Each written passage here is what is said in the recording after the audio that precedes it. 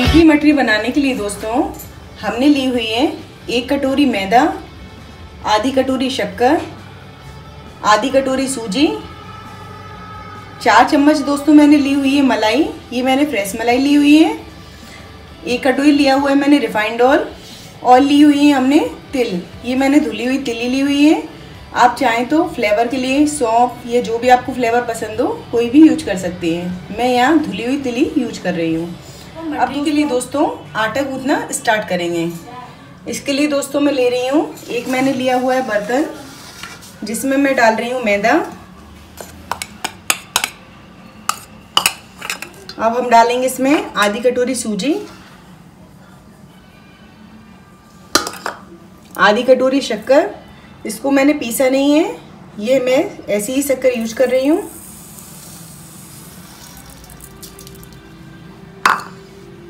और डालेंगे दोस्तों हम इसमें ये मलाई।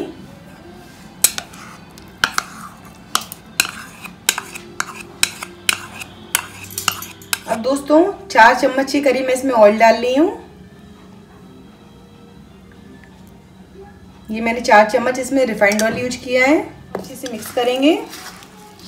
और ये आधे चम्मच के करीब दोस्तों मैं यहाँ तिल डाल रही हूँ फ्लेवर के लिए। ये दोस्तों मैंने अच्छे से इस मटेरियल को मिक्स कर लिया है। अब हम धीरे धीरे पानी की सहायता से इसको गूंथ लेंगे। इसको हमें थोड़ा सा टाइट मारना है। थोड़ा थोड़ा करके इसमें पानी डालें। इसमें दोस्तों मैंने मोटी शक्कर यूज़ की है, जिससे हमारा जो मठरी बनेगी, इसमें क्रंचीपन आ जाएगा और इसके दाने दिखाई देंगे।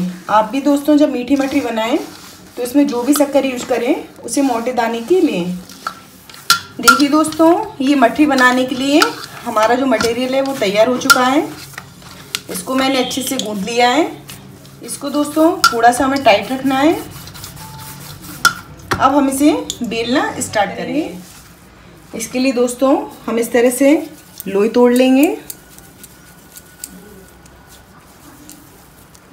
और इसे बेलना स्टार्ट करेंगे।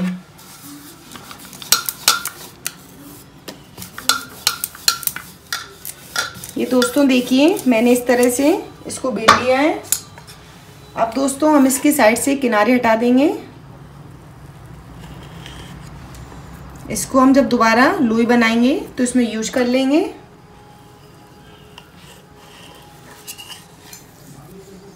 अब हम इसे इस तरह सेप में काटेंगे। आप चाहें तो मटरी को कोई भी सेप दे सकते हैं।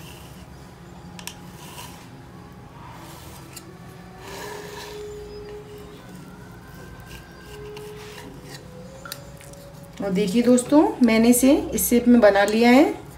अब इसे एक प्लेट में रख लेंगे। ये देखिए दोस्तों मैंने इस तरह मटरी को कट कर लिया है। अब हम इसे कढ़ाई में रिफाइंड ऑयल गर्म कर कर डीप फ्राई करना स्टार्ट करेंगे दोस्तों मैंने एक कढ़ाई में ऑयल गर्म कर लिया है। अब हम इसमें मटरी को डालेंगे।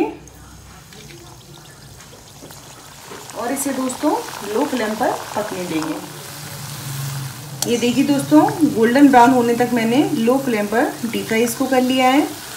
अब दोस्तों हम इसे पेपर नैपकिन पर निकाल लेंगे, जिससे इसका जो भी एक्स्ट्रा ऑयल है, वो निकल जाए।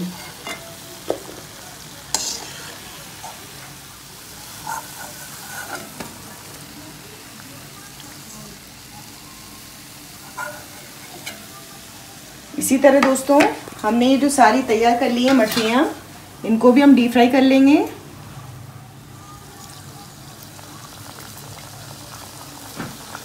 गैस का फ्लेम हमें लो रखना है,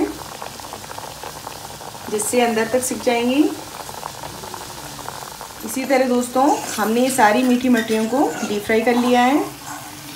इसे मैंने ये पेपर नैपकिन पर निकाल लिया है। अब हम इसे एक बर्तन में सर्व कर लेंगे। ये देखिए दोस्तों, हमारी मीठी मठरियाँ बनकर रेडी हो चुकी हैं। दोस्तों, इन्हें ठंडी कर कर ही आप सर्व करें, क्योंकि जब ये ठंडी हो जाएँगी तो ये क्रंची हो जाएँगी और खाने में बहुत ही टेस्टी लगेंगी। अब दोस्तों, आप भी इसे बनाइए और ट्राई कीजिए। हेलो फ्रेंड्स अब मैं इसको टेस्ट करने जा रही हूँ। बहुत ही टेस्टी और क्रंची बनी है। आप लोग भी इसको घर पे ट्राई कीजिए और वंदना किचन को लाइक शेयर और सब्सक्राइब कीजिए।